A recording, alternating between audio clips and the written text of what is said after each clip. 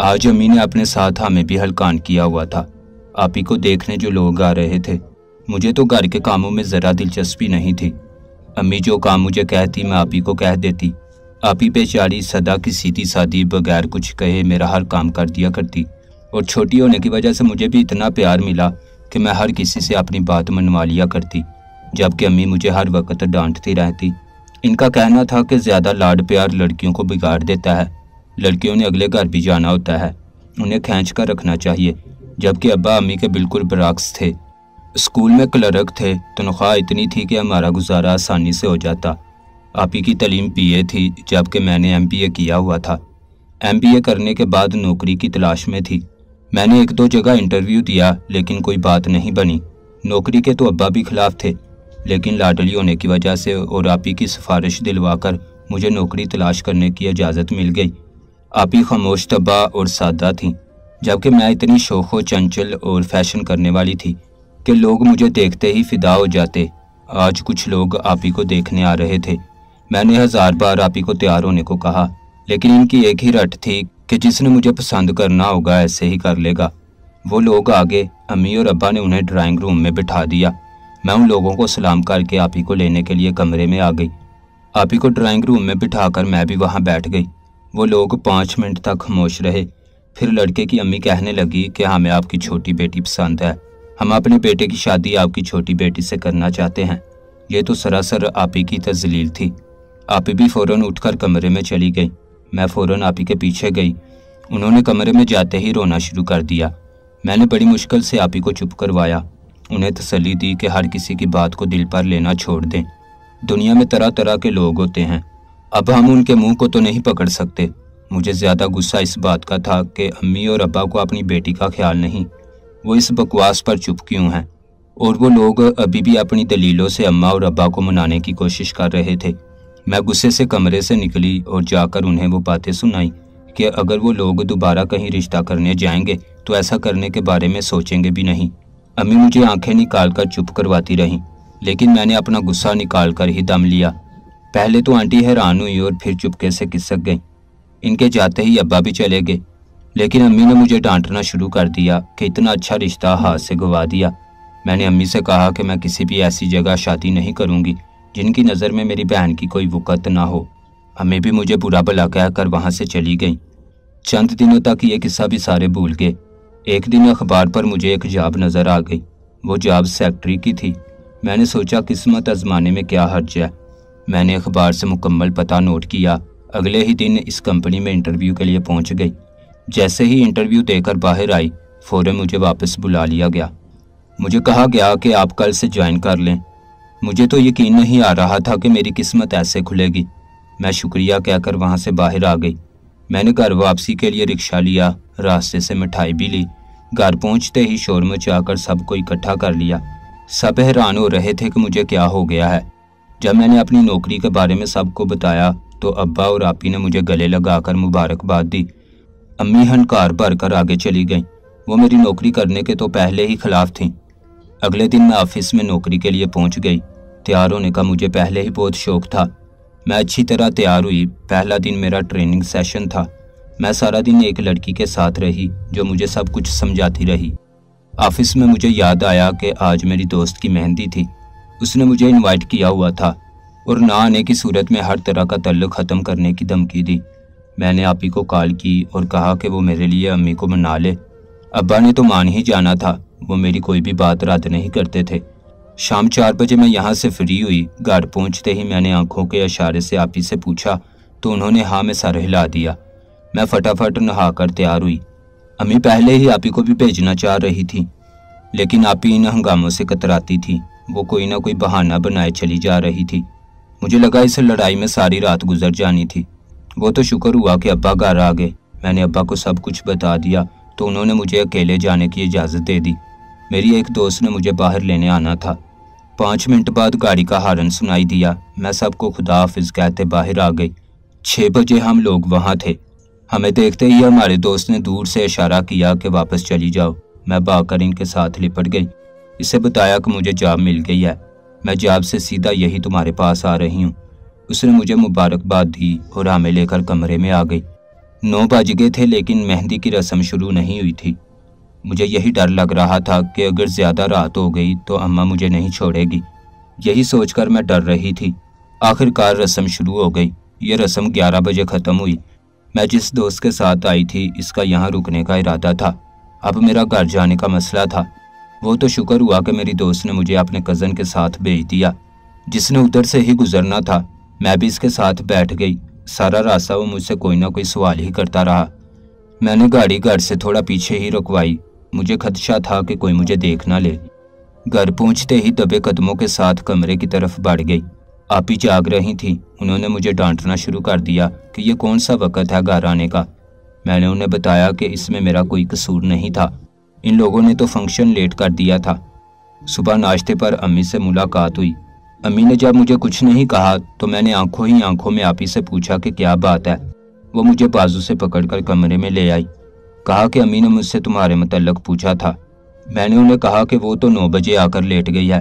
थकी हुई थी, इसलिए सो गई। मैंने अल्लाह का शुक्र अदा किया कि चलो बचत हो गई। प्यार से आप ही को साथ लगा लिया। आप ही ने मुझे पीछे किया और तंबी की कि अगर अब तुमने दोबारा कोई ऐसी हरकत की तो अम्मी रात को तुम्हारा घर से निकलना बंद कर देगी। मैं अच्छा कहकर बाहर आ गई और नाश्ता करने लगी। आज मेरा ऑफ़िस में तीसरा दिन था, इसलिए मैं छुट्टी भी नहीं ले सकती थी। मैंने अपनी सहेलियों से माजरत कर ली। बहुत जल्द मैं सारा काम सीख गई थी। ऑफ़िस की बाकी लड़कियाँ मुझे कहती थीं, लगता है कि बॉस को तुम्हारा काम पसंद आ गया है, वरना वो किसी लड़की को चंद दिन भी टिकने नहीं देते। मैं इस बात पर बहुत खुश थी कि मुझमें इतना टैलेंट है कि मैंने अपने बॉस को भी मुतासर कर लिया है। बॉस की उम्र कोई चालीस साल थी। देखने में वो उम्र से पाँच साल कम ही दिखते थे। उन्होंने खुद को फिट रखा हुआ था। अभी एक महीना ही गुजरा था। एक दिन वो लड़का जो मुझे मेहंदी की रात घर छोड़ने आया था और चंद लोग हमारे घर में मौजूद थे। मैं अभी ऑफ़िस से वापस लौटी थी। वो लोग पता नहीं कब के आए हुए थे, अब जाने वाले थे। इनके जाते ही आप ही ने मुझे मुबारकबाद दी और कहा कि वो लोग तुम्हारा रिश्ता लेकर आए थे।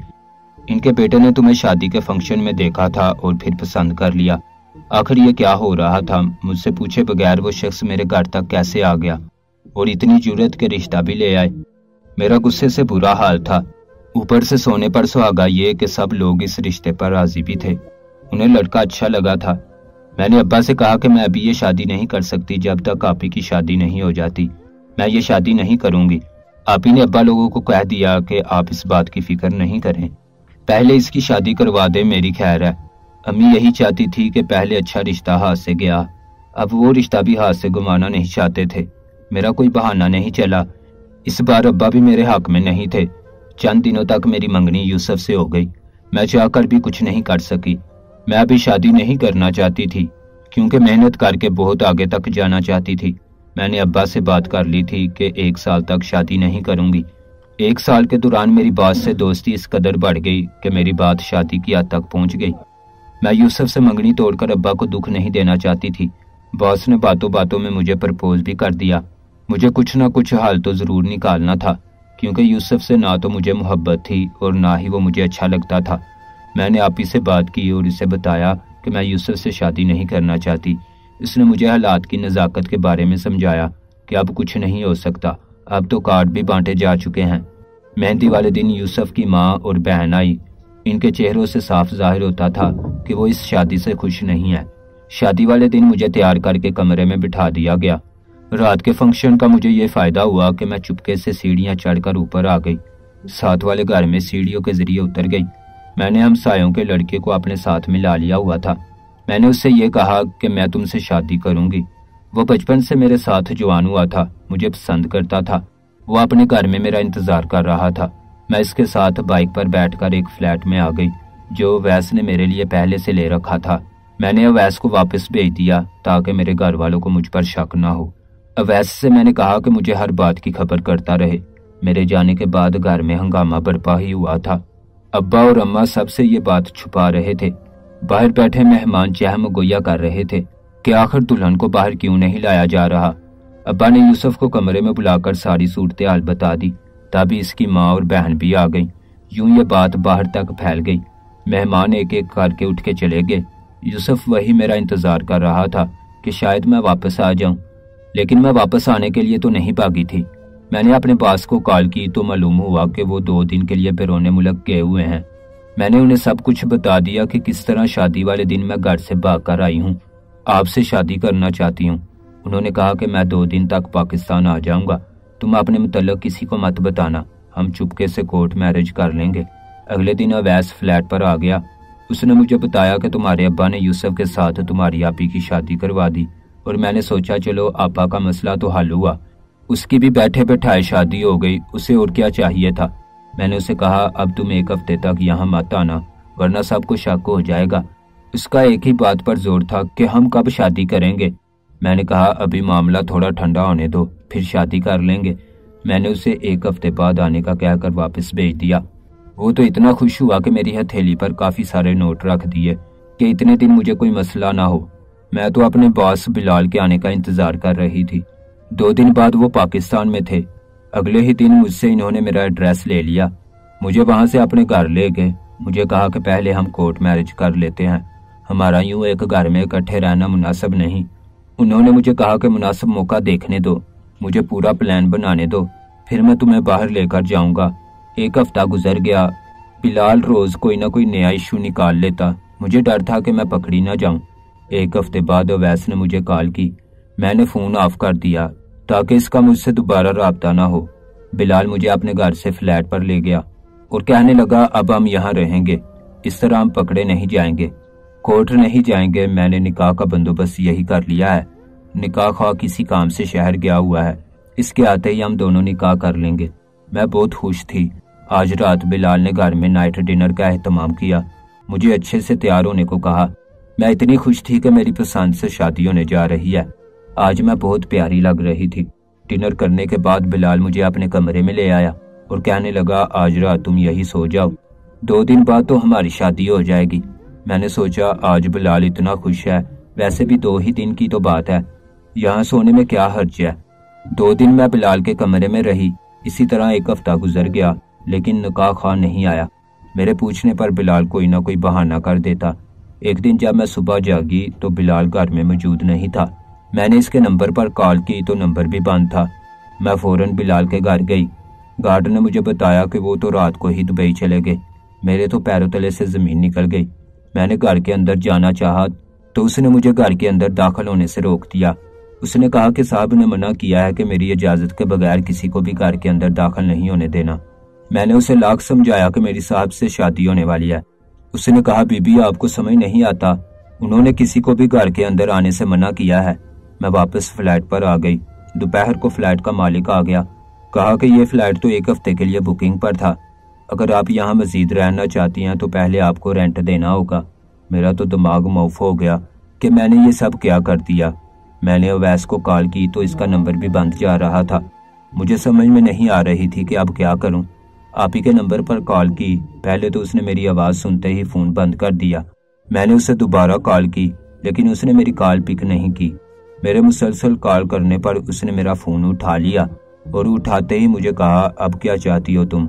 जो ज़िंदा लाशें यहाँ चल फिर रही हैं, क्या तुम उन्हें भी मार देना चाहती हो?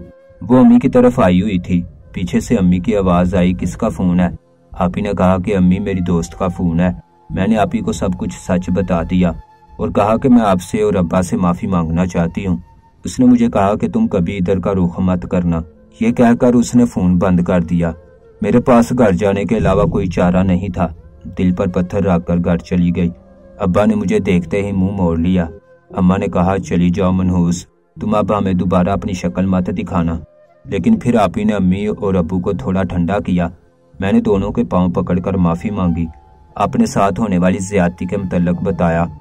अम्मा और अब्बा को तो पहले ही चुप लग गई थी। मेरी बात सुनकर मजीद परेशान हो गए। मैंने आप ही से अवैस के मतलब पूछा तो उसने किसी वजह से जहर पी लिया था। अब वो हॉस्पिटल में था। इसके जहर पीने की वजह किसी को भी मालूम नहीं थी। मैं फ़ौरन हॉस्पिटल पहुँची। अवैस होश में था। उसने मुझे देखते ही मुँह मोड़ लिया। मैंने उसका हाथ पकड़ा और कहा, मैं तुम्हारे लिए वापस आ गई हूँ। ये सुनते ही वो उठकर चला गया। चंद दिन के बाद मेरी अवैस के साथ शादी कर दी गई। अच्छे भले रिश्तों को ठुकराकर आज एक ऐसे शख्स के साथ ज़िंदगी गुजारने पर मजबूर हूँ, जिसकी एक छोटी सी दुकान है। और मुश्किल से हमारा गुजर बसर होता है, जबकि मेरी बहन यूसुफ के साथ एक लंबी सी गाड़ी में आती है। खुशहाल ज़िंदगी बसर कर रही है। न जाने कब तक मुझे अपनी गलतियों की सजा भुगतना पड़ेगी।